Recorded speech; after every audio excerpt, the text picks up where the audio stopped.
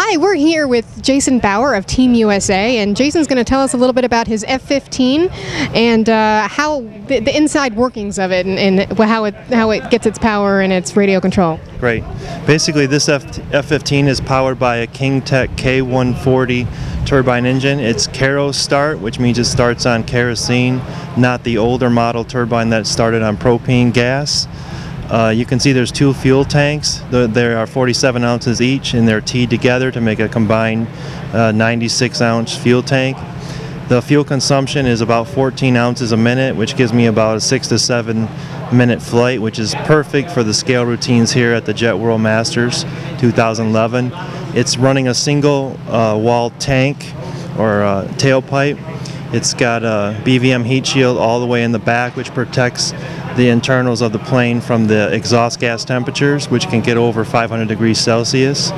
It's got dual batteries for the receiver, and it, the turbine also has its own battery to uh, power the computer that runs the throttle control for the system.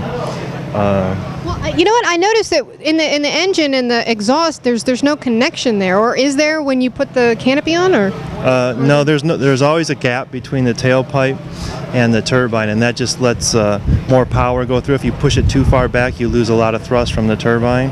It also gives you, it lets air pull around the turbine, so it actually works better that way. And wow, check out the scale detail on these nozzles. How long did it take you to build these? I spent over 160 hours, basically the whole month of uh, February after work, uh, just working in the shop doing the fine details. It basically comes as just a flat, like plastic model kit.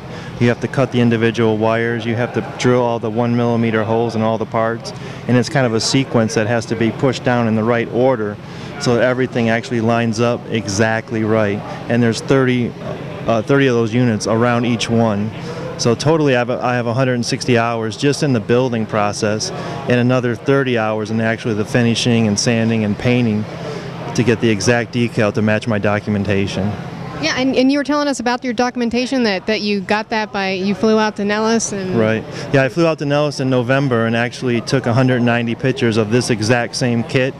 And then I came uh, back and uh, started working on the kit in late February and actually made the show in time. So it was a rush job, but I think it turned out well and it looks great. And it took, again, first in static on the U.S. team, so we're quite pleased. Yeah, well, congratulations and thanks for sharing with us. Thank you.